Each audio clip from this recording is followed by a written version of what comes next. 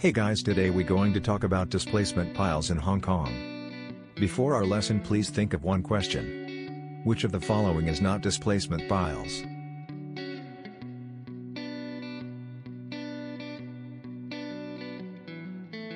To answer this question we need to understand the definition of displacement piles first. Displacement piles are normally driven into the ground by hammers or vibratory drivers. The soil is displaced as the pile is driven or jacked into the ground. Therefore it calls displacement pile. According to publication from CEDD, the displacement piles can be classified into two types. First for the large displacement piles, which include all solid pile. For example precast concrete piles. Steel or concrete tube closed at the lower end. Another types is small displacement piles, which include rolled steel sections. For example H-piles and open-ended tubular piles. In the following section, you will see a video of pile driving operation in the field. Watch the video carefully and answer the following question.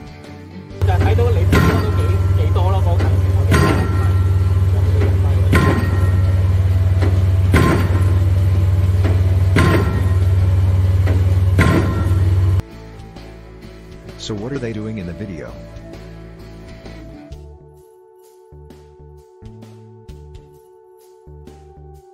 Welcome back to the classroom. So after going to the site visit, how do you feel? Do you feel noisy at the site? If you think so, this will be one of the disadvantage of driven pile. Besides, here are the advantages and disadvantages of a displacement pile. For example, the vibration during piling may cause complaints from neighbors. Because it may affect the structural safety of their building. Apart from it, pile section may also be damaged during driving. Although there are some shortcomings for the displacement pile, it is still suitable for some situation. For example, small displacement pile can use less heavy machines than other deep foundation. Also it can be lower impact on groundwater conditions, therefore it may also advantageous to marine structures. To conclude, constructing a displacement pile is to displace the soil laterally and compacting it into the surrounding terrain. That's all for today. Thanks for watching.